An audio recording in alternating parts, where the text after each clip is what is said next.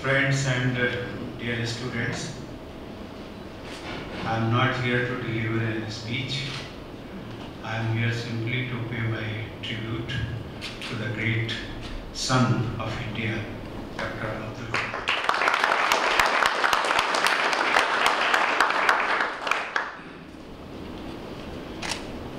I am very happy to know about uh, this uh, Dr. Kalam Sandesh Vahini. Of course, as you all know, it depicts various incidences from Dr. Kalam's life as well as key highlights of India's scientific achievements with an aim to educate and inspire the masses. I am very happy to know about this uh, yatra, can say, which has uh, uh, traveled, I was told, about 12,000 12,000 kilometers plus and 81 days.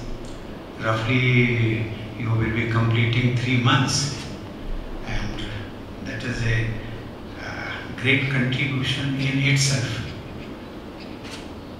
As far as I know, my predecessor, course, not just immediate predecessor, but at that time I remember I happened to be a member of uh, Rajya Sabha. So I used to meet him, not frequently, but I can say I think uh, two or three times I have met him. And I found in him great qualities. He always thought of country and our people. And what I feel, his dream was that every child of India should be an educated, number one. And number two, India should be a scientific power. This is what I gathered uh, whenever I met him. Friends, uh, I am very happy to know that uh, this Vahini, Kalam Sandesh Vahini, was flagged off by Prime Minister Sri Narendra Modi as just uh, has been told. Uh, during the inauguration ceremony of Dr. Kalam's memorial, the Vahini has uh, traveled through 16 states over 81 days, starting from Rameswaram, that is the native town of Dr. Kalam, to the Rashtrapati Bhavan today. House of Kalam and Chinmaya University came together to launch the Kalam Sandesh Vahini. It's one of the kind mobile exhibition on the life, works and the vision of Dr. Abdul Kalam. Dear friends and students, we all know that uh, one of the best ways of building the character of the youth of any country is to inspire them to read biographies of great personalities. When I came to know about uh, Dr. Kalam's, that he used to travel from Rameswaram to uh, the uh, district headquarters, Ramanathapuram. Uh, that is about, say, 12 to 15 kilometers away, and that too on bicycle, every day, just to get his education completed.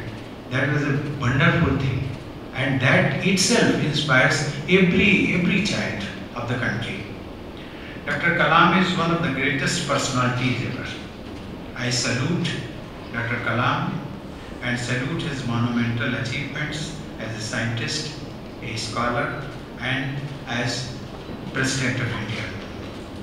This bus presents the life story of Dr. Kalam in a very interesting manner.